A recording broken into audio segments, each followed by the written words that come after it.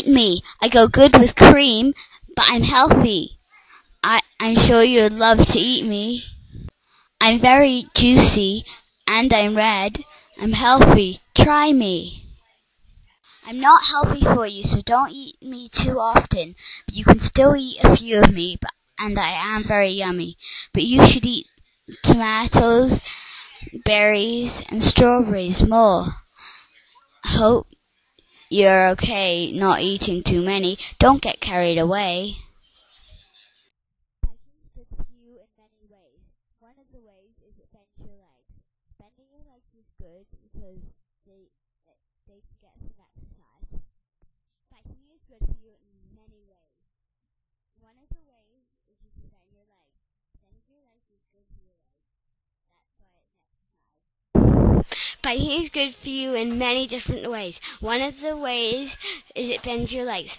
Bending your legs is good for the muscle. That's why it's exercise. Tennis is good for you because you move your arms. Moving your arms is good for the your shoulder muscles.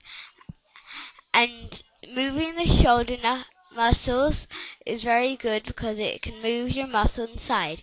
And so you as much as you move, when you move, it makes sure that your your body grows stronger. If you don't move for a very very long time, then your muscles will start to get weak because it's not used to to being having lots of exercise. That's why you need exercise. Exercise rocks. Running is good for you because you're moving your arms and your legs, and sometimes you can move all. You, you basically move all the muscles in your body, and it's good for you because you bend your elbows and you bend your knees. That's good for the muscles in your legs and arms. Uh, there. Swimming is very, very good for you. I'm gonna use, hmm, let's see butterfly as an example. Butterfly is good because you have to use all your muscles to jump out of the water like a big monster wanting to eat you. And you have to move your legs to kick. And you have to pull your arms and so you can move. And that's why swimming's very, very good for you. I love swimming. It's one of my best sports. It's important to keep yourself clean. If you're dirty, then there might be a bug and it could, you could get sick. And then if you don't have anything else and you don't clean yourself, then you can get really sick and then you can get, then you could maybe, maybe, if it's a really bad bug, you could maybe die. It's important to comb your hair and make sure your hair is clean. Otherwise bugs might live in it and if the bugs live in it, then it will be horrible. A dentist can help if something's wrong with your teeth.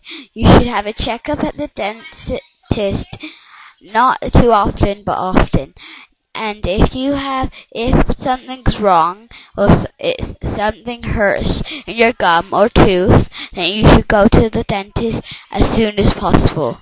If you can't figure out what it is, if you can't figure out what it is, and you think, oh, you can't do it, then go to dentist too.